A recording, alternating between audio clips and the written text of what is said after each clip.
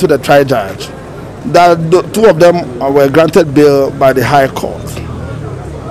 You understand that? And that hasn't been done, the matter is ended. Despite the fact that they were granted bail, the case is still pending at the Court of First Instance, which is the magistrate court.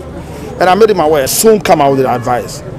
And then uh, we shall put it before the trial judge to take a decision. Well, how do you see the posture of the judge? Because she appeared skeptical with how soon the advice will come. Oh, no, no, no, she's composed.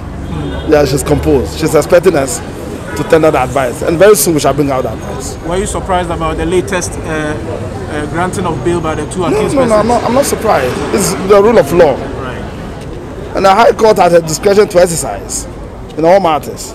So if they exercise and then granted bail, fine. No, no, I'm not surprised about it. I'm grateful.